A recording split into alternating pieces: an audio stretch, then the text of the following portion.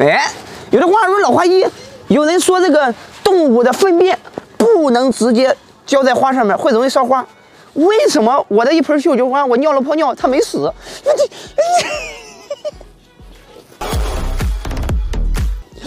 你，你可能不算动物啊，你是灵长类的高级人类。那您要了解啊，像一些个动物的粪便呢，如果说直接去给花卉用，它是产生一定烧花的。那你偶尔来一次，它没什么事。您要了解哈，这个盆土里面很复杂的，它有很多的微生物，而且呢，你像咱们人类也好，动物排的也好，它的一些粪便呢，都会被自然降解，会被微生物自然降解，你知道吧？所以说呢，你猛的一进来，可能那些微生物哇，哈哈，好吃的。它 它就开始分解了，知道吗？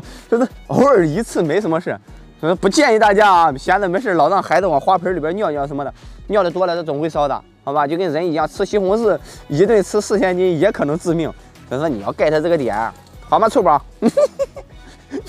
你这这种问题以后就不要问了啊！我是老花一，眼光衬着你，下期再见，拜了。